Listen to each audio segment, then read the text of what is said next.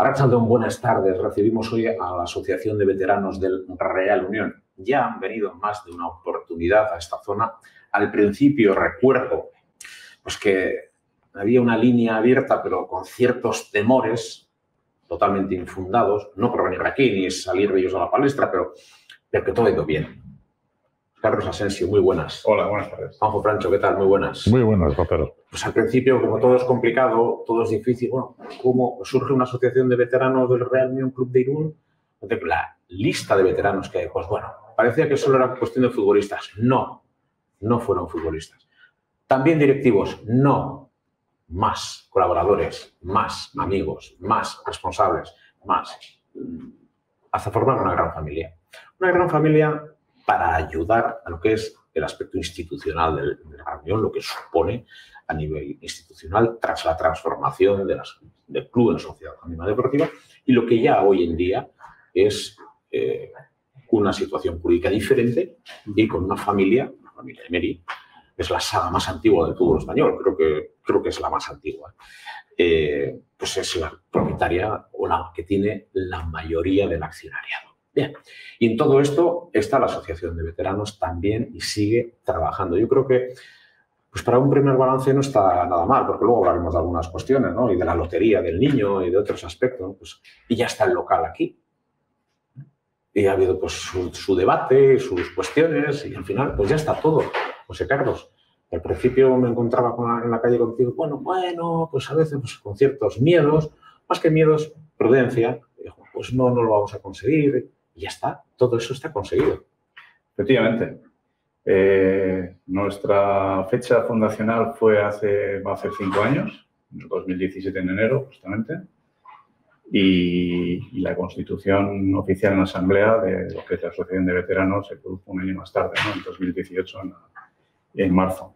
Eh, si es verdad, es decir, llevamos ya casi cinco años como, como asociación, los miembros de la Junta que estamos en estos momentos, y uno de nuestros objetivos fundamentales era disponer de, un local social, que, que, debería ser teóricamente pues, pues nuestra sede social y, realmente eh, lo más importante en cuanto a, eh, reunir a, todo el colectivo que, que podemos representar.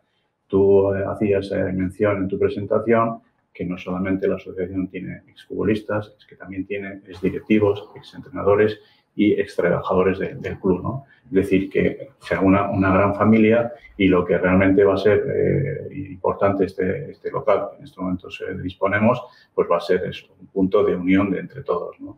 un catalizador que, que, realmente hasta ahora pues estábamos, nos conocíamos todos en Irún, pero evidentemente no teníamos un, un lugar de reunión en el que nos pudiéramos ver pues, eh, en grupo y, más o menos defendiendo los mismos intereses que son los intereses de la reunión. Si te parece bien, y si le parece bien a Juanjo, voy a recordar que José Antonio Logorburu es el presidente de esta, de esta asociación ¿eh? y que él ha sido uno de los pilares de la reunión en el ámbito futbolístico y en su cantera también jugó José Antonio Logorburu y que es una de las, de las imágenes, pero que precisamente el actual consejo también, otras personas que han colaborado con la Asociación de Veteranos y que me da la sensación que como que esa maquinaria está, está bien engrasada. Y eso es bueno, Juanjo. Eso es muy bueno, muy bueno porque al final eh, la asociación de, antiguos jugadores pues tenemos que también estar eh, ligados al club y podemos ir a hacer cosas conjuntamente que nos venga bien tanto al club como a la, como a la asociación. A ver, aquí tenemos un ejemplo. José Carlos ha sido jugador, ha sido delegado, Coordinador. Ha sido directivo, creo. No sé, sido coordinador. Coordinador. Y ha sido trabajador del, club. Formado en la esencia, de lo que es la familia del, Aquí un ejemplo que hay, hay otros muchos. Es ¿eh? la esencia de la sociedad. Hay otros muchos. Enseguida hablamos de, su presencia enseguida en la, en la Asamblea ¿eh? en Madrid, celebrada recientemente. Pero quiero decir que, que es verdad que que esos ejemplos que muchas veces ponemos que en Europa o en otros sitios hay que los clubes tienen su caldo de cultivo, su esencia, su historia, pues aquí ya está. Y destacaría yo también, si os parece bien, la, complicidad del Consejo de Administración de la reunión a la hora de pues, tratar de, buscar el mejor apoyo, la sensibilidad, y yo creo que en ese sentido tanto Igor Remeri como todo su equipo, todos con toda su familia, pues ha sabido poner en valor todas esas cosas y, el convenio de colaboración pues está también aquí. Está muy, muy cercano, vamos. Eh, hace 15 días se ha firmado, pero sí es verdad que desde que tomaron posesión del club, desde creo fue el tercer día ya tuvimos ya contacto por parte de Igor, nos llamó para tener una reunión, estuvo en el local y bueno, allí expusimos un poquito lo que son las líneas maestras del plan estratégico nuestro como asociación de veteranos, hicimos un poquito de revisión de, pasado, pero sobre todo hablamos de, lo que, de los, aspectos de futuro y aspectos sobre todo que, que van a ir de la mano club y asociación que son aspectos pues, importantes para el futuro del Es una de las, uno de los sustentos también ¿eh? a nivel social y a otros niveles de este Real Unión que acaba de comenzar una nueva andadura. Todavía tiene muchas cosas que, pulir, mucho que trabajar, muchos brazos hacen falta. ¿eh? mucho, hay que ponerse un mono de trabajo porque eh, de alguna manera el dinero no lo es todo. Hace falta algo más que aparentemente el dinero. Sí, sí, oiga, pues aquí hay un proyecto, pero hay que trabajar mucho. Sí, sí, hay que trabajar mucho porque hay que hacer pues, bastantes cosas para seguir con esto adelante. Es decir, no es como tú has dicho del dinero, porque el dinero sí viene muy bien, está claro, pero a la vez hay que, hay que preparar pues, pues eh, excursiones, partidos, torneos, eh, hay un montón de cosas, hay un montón de cosas que hay que preparar, que hay que hacer y, bueno, en eso estamos, en eso estamos todos contribuyendo, estamos todos trabajando y, para adelante. La página web del club, que en estos momentos eh, está en construcción, en fase de readecuación y de resituación, Departamento de Comunicación que dirige Martín de Ichea, pues con un poco de paciencia está realizando todo eso. Os abre, evidentemente el club os abre una pestaña que para vosotros es muy importante. Sí, fundamental. Eh, si hasta ahora hemos estado moviéndonos en redes sociales, pues por, Facebook, eh, Twitter, Twitter, pero es verdad que nosotros carecemos de página web. Un inciso Twitter que nos ha permitido hacer llegar a los telespectadores muchas veces las imágenes de los partidos del equipo de veteranos, que quizá no estamos tanto en, la órbita del resultado, ¿no? sí, Decimos, oiga, que el Real Unión está aquí y está desplegando su tarea social, eh, más que lo que es el resultado en sí, al margen de mantener en forma a unos cuantos señores que en su momento le dieron con calidad al balón. Efectivamente. Desde luego, lo de menos son los resultados. Lo más importante, esto ya es un plano deportivo, eh, lo más importante es ver que todos los jueves hay una regularidad de 18, 20 eh, jugadores que se comprometen a venir a entrenar, sea verano, sea invierno, haga mal tiempo, haga bueno. Y eso es digno, digno de elogiar, ¿no? Eh, que luego competimos bueno, en torneos y organizamos nuestros torneos, asistimos a, partidos y nos invitan por, por celebraciones, pues estupendo. Pero sobre todo hay una, un área dentro de, de, lo que es el aspecto deportivo que es de destacar y es que tenemos a 20, 25 personas comprometidas con el entrenamiento y sobre todo con el hacer deporte, que es una de las secciones que realmente, ¿no? que, áreas que realmente mm, por las que estamos. ¿no? Es decir, tenemos otra área social y otra área económica, ¿no? pero el área deportiva, evidentemente, estamos en un club deportivo, en un club de fútbol y mm, es una de las áreas que sustenta la asociación de. Sé que tenéis la puerta permanentemente abierta, el toc toc, y se va a abrir para que el que lo desee, que haya sido, aunque sea amigo de reunión, llegue allí y pueda practicar deporte. No se le va a exigir nada especial. Poco en forma y, bueno, pues además, eh, caldo de cultivo de un espíritu, no sé si la expresión es muy afortunada, pero bueno, entre nosotros, vamos a hacer la comarca del Vidasoa, el espíritu del unionismo nos puede quedar quedar bien, ¿no? Valorarlo, ponerlo de relieve, ¿no? Sí, sí, hombre. A nosotros eh, eh, estamos abiertos a, a, todo el mundo y más siendo o aunque no haya sido familia de un unionista, es decir, que, que, vengan, nos hagan todo y oye, pues nosotros os podemos ayudar en esto, podemos hacer esto. Eh, Nosotros ahora mismo tenemos socios, somos 170. ¿Cuántos socios sois? 180. 180. Cerca de 200. Hemos- Entre pitos sí, y flautas, sí. cerca de 200. Sí, ya. hemos, la última Navidad- asamblea en- que hicimos en fue hace, Navidades vendrán algunos más. Eso es. Mira, la última asamblea que hicimos fue justo el 7 de marzo del 2020.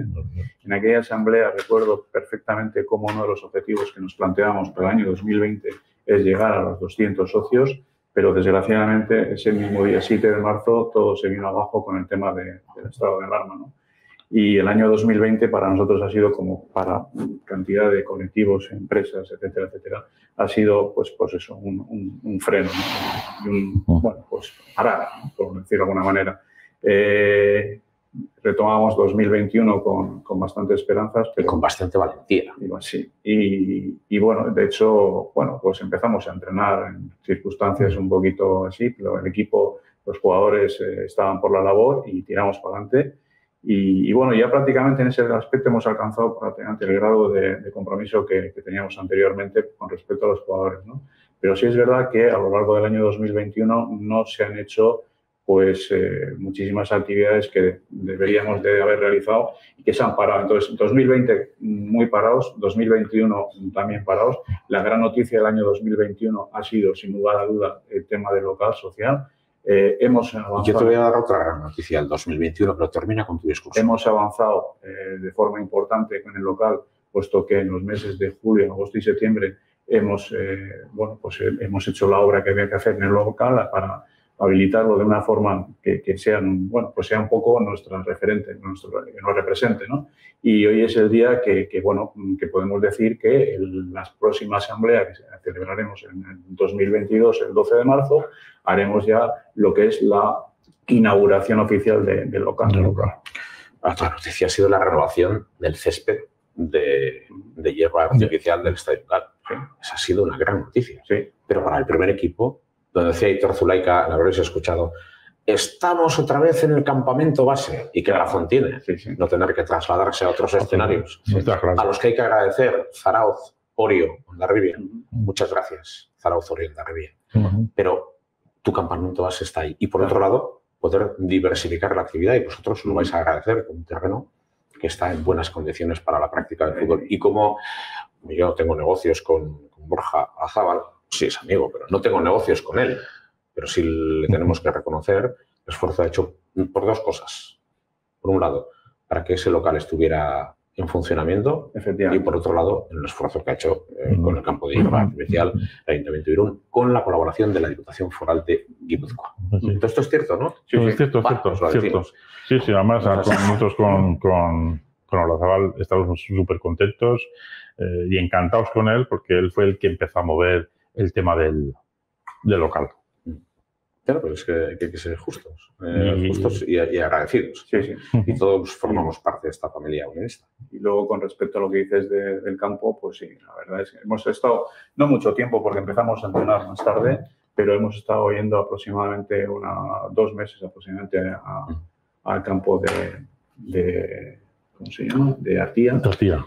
Y sí es verdad que, claro, es que el, el campo actualmente lo tenemos justo puerta del local, ¿sabes? Ujú. Si estás detrás de la porquería, Claro, ¿no? evidentemente. Es decir, pero sí es verdad que se nota una diferencia abismal en el terreno de juego en este momento. Es verdad que hoy podía estar aquí Igor Romeri, pero bu- buscaremos el momento para Mm. que estemos las partes eh, explicando pues, diferentes cuestiones de lo que dio de sí la familia unionista en un tiempo que afortunadamente co- con, con ciertas épocas el llorado Víctor Zavalo o José Ramón Garmendia Olito o alguno más que pusieron en marcha todo lo que eran los veteranos.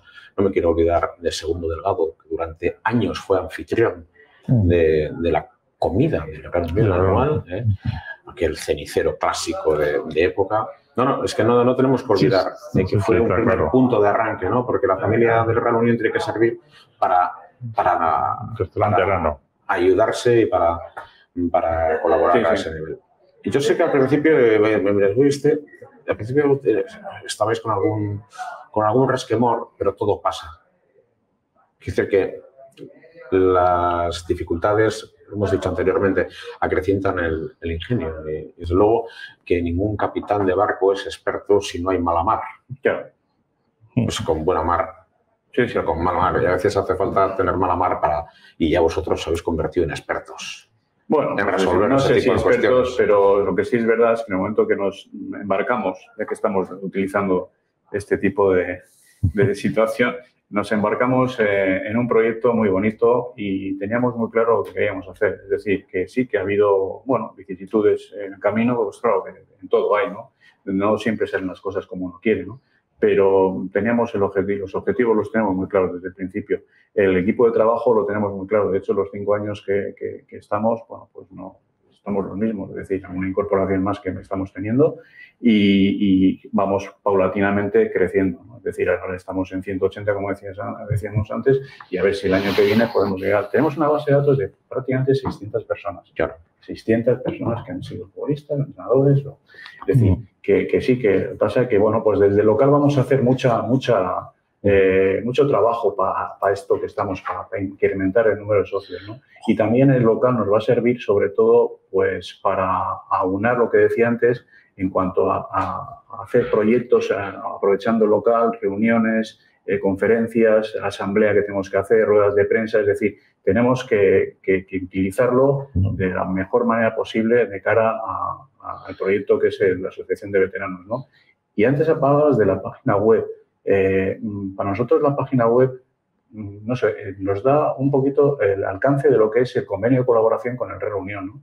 Eh, el convenio de colaboración con el Reino Unión recoge una serie de puntos que, bueno, ya se han comentado en prensa, pero lo importante es que es simplemente es un convenio de colaboración en el cual se recoge una serie de puntos generales, pero que fuera de esos puntos generales lo más importante es que en estos momentos estamos ante una estrechísima colaboración entre el club y la asociación de veteranos. Ujú. Y ejemplo de esto es que dentro de la página web del club va a tener un apartado la asociación de veteranos. Es decir, que, que, bueno, estamos, eh, por decirlo de alguna manera, eh, siendo tratados como si fuéramos una sección del propio club. Es decir, siendo dos eh, estamentos distintos, en este caso directivas distintas, pero que al fin y al cabo aunan y convergen en lo mismo, ¿no? Es- y es sobre todo trabajar por la imagen del club. Has estado, has estado, Juanjo, en la, en la reunión, la Asamblea General, eh, en el Banda Metropolitano de la Federación de Asociaciones de Clubes Veteranos de Fútbol. Eh, bueno, ¿qué conclusiones habéis sacado? ¿De qué se ha tratado? ¿De qué se ha hablado? Bueno, pues he hablado de todo un poco, ¿eh? pero sobre todo de dos puntos muy importantes que queremos eh, hacer todas las asociaciones, porque estuvimos todas las asociaciones de España allí, unas 62. Eh, y las dos- los, dos, los dos puntos es pues, el campeonato nacional, el torneo nacional, vamos a decir, de, de- de veteranos, y después de los talleres de reminiscencia que, que tenemos en, pues en, pues en los talleres, por ejemplo, en Cácer, en, en, un montón de, de sitios están llevando, ¿no? Entonces, el primer punto se, se habló de que si se iba a hacer, eh, como siempre, eh, por zonas, es decir, nosotros siempre lo hemos organizado en, en esto, en Santander, al lado, en Torrelavega, lo, lo habían organizado ellos. Pero ahora decían que si no había tiempo, bueno, había un poquito ahí rifirrafe y decían de que si pasáramos directamente a la final todos. Entonces, ahí tenemos ahora una pequeña uh, rifirrafe de estos pequeños que, que tenemos que decidir entre todos si vamos a ir a la fase final o vamos a hacerlo como siempre que lo organiza alguien. Sí quiero decir también que nosotros, estando aquí que también José Carlos lo puede decir, eh, que eh, en breve que nos gustaría organizar ese torneo. En breve no te hablo este año ni a lo mejor el año que viene, pero dentro de dos años organizarlo. Es uno de los objetivos. Es uno de los en objetivos. la deportiva, ¿no? Eh, es- cierto, es decir, en- en la fase local se ha hecho en los últimos años en Torrelavega. El año pasado estaba propuesta eh, Pamplona o Osasuna porque hacía su centenario y como club pues quería organizar eh, la fase sector de- del norte, pero se suspendió todo, ¿no? Entonces, probablemente volvamos el año 2022 a Torrelavega, porque el Ayuntamiento de Torrelavega en este sentido, bueno, pues Se está colaborando a tope. Y, y, bueno, y aquí se aglutinan, pues creo que son 14 equipos de todo el norte de España, desde Galicia hasta Navarra. Hay cinco zonas en España, entonces los dos, el campeón y subcampeón de la zona, iría a la fase final que hasta ahora era en Valencia. Hay una propuesta en estos momentos de eh, centralizar todo, es decir, los 50 o 60 equipos, somos 62 asociaciones, eh, bueno, voluntariamente van todos, se hace pues en dos días aproximadamente la, el Campeonato de España y evidentemente esta segunda, esta segunda propuesta conlleva muchísimos más gastos eh, que, lo que conlleva la fase sector. ¿no? Entonces vamos a ver cómo, cómo se desencadena en estos momentos la, el, tema. el tema en el sentido de qué es lo que dicen los clubes y a partir de ahí, pues el año que viene o bien estaremos en abril en, en Torrelavega o en una zona cercana, en algún punto cercano, o bien habrá que ir a, una sede centralizada y, veremos a ver, eso sería ya hacia junio aproximadamente. Bueno, tenemos otras dos cuestiones. Por un lado, la lotería, y voy a recordar otras cosas de colaboradores eh, que están con esta asociación de veteranos de la Unión y también eh, porque sigue la actividad por supuesto. ¿Y algún torneo? Por supuesto. Está eh, aquí ya. Decía, antes que el área deportiva pues, eh, había comenzado, sobre todo el segundo semestre, de forma importante. Comenzamos eh, con el Donosti Master Cup, interviniendo en julio en, en, San Sebastián. Ah, tenemos enchufe ahí.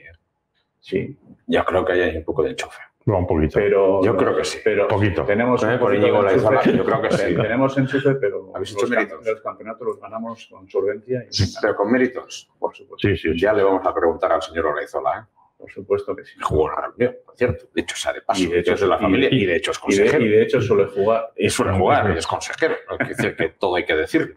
Sí, sí, suele jugar. De hecho, eh, curiosamente, tenemos una anécdota que hace unos años jugó eh, la, la Donosti Master Cup, eh, se vistió de corto estando organizando y, y- y se lesionó, eh, tuvo alguna y tuvo que dejar. Y, Ya sabes que cuchillo, casa de, de herrero, cuchillo de palo. ¿eh? Que se suele, Sí, sí. se suele decir. Bueno, vamos con estos Pues, dos. pues empezamos así, en eso. luego hemos eh, intervenido también en, eh, Francia. en Francia, hemos estado, sí, Es un torneo en de- un torneo en Bayona, que nos invitó el Avirón Bayonés. Y luego tuvimos un partido amistoso con un eh, equipo de, de Illinois, Illinois, americano, americanos. que estaban por aquí.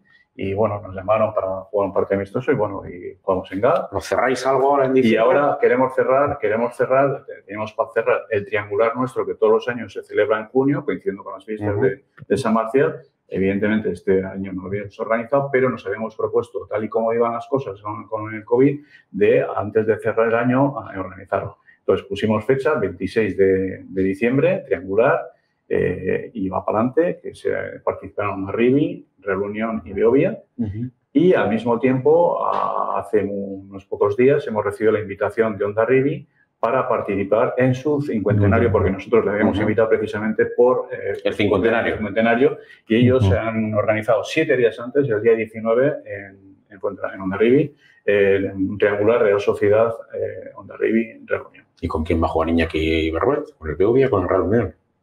Un poquito parecido a ti también, ¿no? ¿Con quién jugarías? No, pero Iñaki Berruet está en condiciones de jugar. Yo no, yo no estoy en condiciones de jugar. Igual algún toque de balón, Un toque sí, de balón. algún toque de balón todavía os puedo, os puedo adelantar, pero, pero Iñaki Berruet está en condiciones todavía de jugar. Eh, puesto- ¿con quién vas a jugar? Eso, ahí Iñaki, pregúntaselo a ¿Con quién? ¿Con, con el Beovia? ¿Con alguna fotografía por ahí o con el Real Unión? O igual al Villarreal, igual pues, conviene que juegue con el Villarreal. O con el Alavés. ¿no? O con el Córdoba. O con el Córdoba. ¿eh? Bueno, ¿con quién va a jugar? Se da- no, no solamente es Iñaki Berruet, se da una No, ya, ya, circunstancia, porque se da sí, una circunstancia es el muy primero curiosa que me que- acuerdo de Iñaki que en el triangular Onda Rivi y Real Unión pues eh, no solamente es un jugador, es que Claro. pues, pues, Lucio. Seguimos con Iñaki Soles, no, por ejemplo. no- sabemos cuántos Diego Lucio. pueden jugar en los tres. Claro, entre los tres en equipos. los tres equipos. Valenzuela. Pero vamos a poner una norma. Pues nos, ha, nos ha pasado ya en el torneo, el torneo de, de Onda Rivi, se suele celebrar la última semana de agosto, primera de septiembre, normalmente, y nos ha pasado más de una ocasión que empieza un jugador con una camiseta y el siguiente partido juega con otra. Esto, esto sí que vamos a intentar evitarlo. El que empieces con una camiseta y termines Eso Vamos a rescatar el bar, si os parece bien. Bueno, ¿Qué os parece? Perfecto. ¿Os parece el bar? Pues mira, en el bar podrá estar José Carlos, ¿no? Sí, Le llamamos a, sí, sí. sí. a- a ver, a Em- Emilio Navas. Ya le vi pitar en Castellón con extremo Coscolín y Coscolín, auxiliar. Pero y os- le podemos poner a Iñaki de Mújica también. En el bar, a los tres. ¿Qué me dices, Juan? Sí, sí, sí. ¿Eh? sí, porque para estar en el campo me parece que... No, están bien, están bien. No, no, no. Estamos- Sí, sí, no, no, pero, pero bueno. yo creo que esa, descubrir nueva- esa nueva faceta. Pues aquí, aquí en Mújica a lo mejor te suelta ya. No, no que Mujica Sí. tensión a bicicleta. Tal y como estamos viendo Funciona las cosas, tal y como estamos viendo las cosas, creo que va a necesitar, Que son, es de la familia unionista, de los Sí, veteranos, sí, fue sí, presidente, sí, claro, sí. se, se va a y necesitar, entrenador. Se va a necesitar más cosas. Más cosas, Sí, está claro. no está funcionando. No está funcionando, ¿no? Bueno, pero eso es otro, otro debate, ¿eh? Otro debate. Bueno, tenemos más colaboradores, porque además de la Lotería del Niño, que es el 84-870, ¿eh? Lotería del Otra vez Niño, acabado en cero. Otra acabado en cero. Tenemos descuentos y ventajas para los socios eh, de varias. Obeto Bici, eh, Obeto Bici que colabora con la familia unionista. Zebra, qué camiseta más bonita. Sí. Qué gusto, la familia Crowley. Con eh, Aparategui también, que colabora con el- la reunión. El chico de los cartuchos. El chico de los cartuchos. Prim, que hay de- y que necesita y que esa sí. colaboración también. Deportes Aparategui, como digo, el psicotécnico. Vicente, también, muy Sí, importante. Y de la familia leonista. Vicente Técnica Autoescuela también, Iturria, Historia Viva, de la colaboración con el deporte en la comarca del Vidasoa, Berry Motor, Vinoteca Mendíbil y Aquerreta. Momento, y hay más, el propio Real Unión Club Sociedad Anónima Deportiva, club. ¿eh? que- que tiene esa colaboración del 20%. Bueno, 84870 para la Lotería del Niño, todavía queda algo, ¿no? Mm, Sí. Poquito, pero...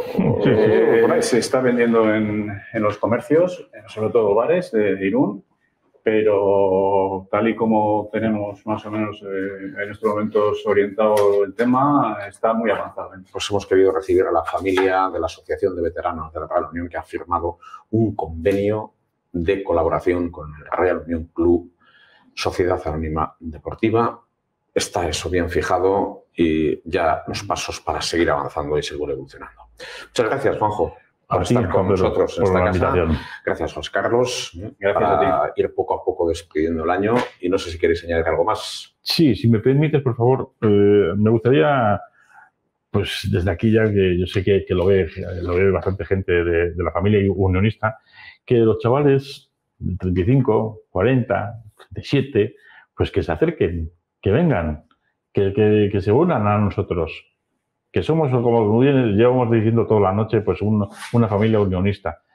Mm, que esa gente que ha jugado, que hay muchos jugadores que han jugado en el Real Unión, en el San Marcial, en el Real Unión, en el Roca, en el Palmira, eh, es decir, que se acerquen, que se acerquen, que hagan el tonto que tú has dicho, que nosotros estamos abiertos a recibirles, que nosotros solo pedimos 30 euros al año, que no pedimos más, que lo que queremos es que vengan, que entrenen, porque hay que darle una, un seguimiento al, al- al fútbol veterano.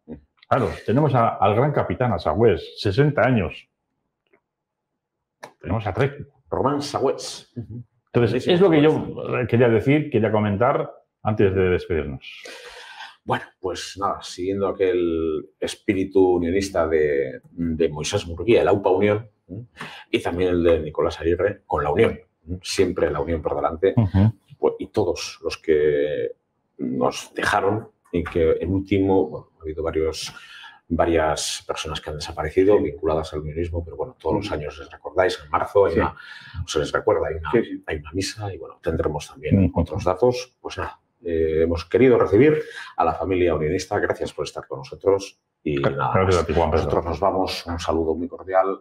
Todo esto ha sido posible gracias a Xavi Bermúdez. Arrachaldeón. Buenas noches. Thank you.